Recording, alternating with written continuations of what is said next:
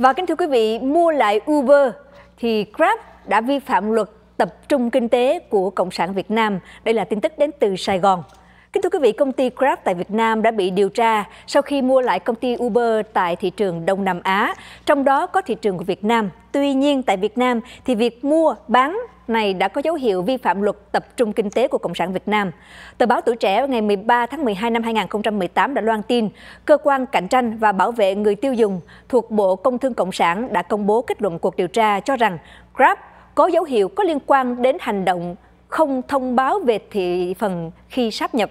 Việc mua bán này của Grab và Uber có dấu hiệu vi phạm luật tập trung kinh tế vì thị phần kết hợp của Grab và Uber sau khi sát nhập trên 50% và đây là hành vi bị nhà cầm quyền Cộng sản cấm.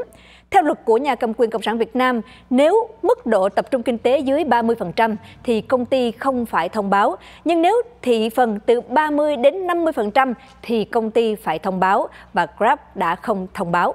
Ngược lại với cuộc điều tra của nhà cầm quyền, văn bản của Grab gửi cơ quan chức năng cộng sản thì cho rằng thị phần kết hợp giữa Grab và Uber trên thị trường tại Việt Nam được xác định thấp hơn 30%, cho nên Grab và các bên tham gia giao dịch không phải thông báo cho cơ quan kiểm soát cạnh tranh trước khi tiến hành và hoàn tất giao dịch tại Việt Nam.